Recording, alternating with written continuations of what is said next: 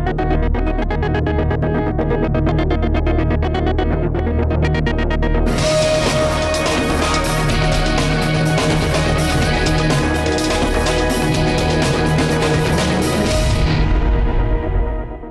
Основная деятельность – это развитие гражданского общества, просветительская деятельность, как, собственно говоря, во всех э, э, регионах России. Сейчас это как бы, новая волна, потому что, с одной стороны, мы э, планируем, и центральный аппарат тоже, э, сохранять те замечательные традиции, которые были, а они действительно э, очень четкая, была четкая системная работа. И сейчас, конечно, появилось э, много нового.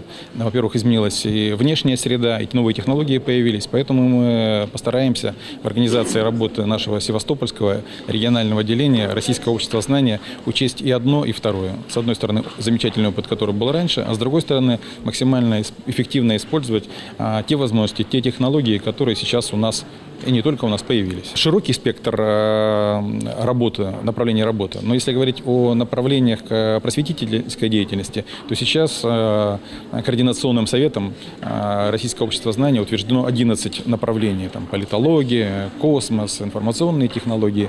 Вот. Но эти это количество их не закрыто потому что многие региональные отделения на своих конференциях предлагали еще новые направления, которые могут быть. Я, например, сегодня планирую предложить а, добавить, ну, во всяком случае, для Севастопольского отделения тему, связанную с лотом, с морскими технологиями, потому что для нас, по-моему, это очень актуально и важно для каждого жителя Севастополя. В Севастополе а, таких э, талантливых людей очень много. Людей, которые неравнодушные, которые готовы передавать э, свой опыт, свои знания другим, обмениваться опытом.